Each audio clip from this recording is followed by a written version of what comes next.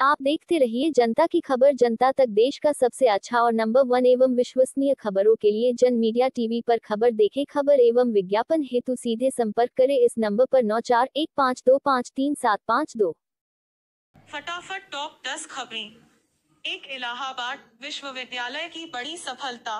दुनिया के शीर्ष वैज्ञानिकों की सूची में शामिल यहाँ के आठ शिक्षक। दो एलपीजी सिलेंडर अब केवल छह सौ तैतीस पॉइंट पाँच शून्य रूपए में आएगा आपके घर। तीन अमेठी के गौरीगंज एसआई एमएलए राकेश प्रताप सिन्हा शुक्रवार एसआई करेंगे अन्न जल त्याग सरकार पर लगाया आरोप। चार चमचमाती कार एसआई उतरा फर्जी एसडीएम दिवाली पर निकला दुकानदार का दिवाला, जाने। मामला यूपी के आजमगढ़ ज़िले में धनतेरस के दिन। पाँच आजमगढ़ पुरानी रंजिश में अलग अलग स्थानों पर हुई मारपीट की घटना में तीन घायल, छह आजमगढ़। पुरानी रंजिश में अलग अलग स्थानों पर हुई मारपीट की घटना में तीन घायल। सात आजमगढ़ जरूरतमंदों को पुलिस ने दीपावली पर दिया उफार। आठ समितियों पर डीएपी नडारट किसान परेशान।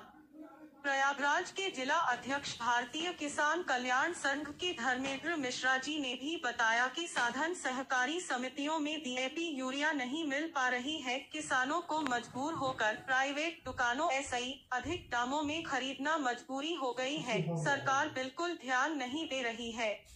नौ दो petrol diesel prices drop RJD supremo Lalu Prasad Yadav का बड़ा बयान आगामी चुनाव के बाद क्या फिर बढ़ जाएँगे पेट्रोल, डीजल के दाम? दस यूपी महोबा में साई मंदिर की मूर्ति हटाकर रातों रात बनाई मजार। ग्रामीणों में तनाव, पुलिस फोर्स तैनात।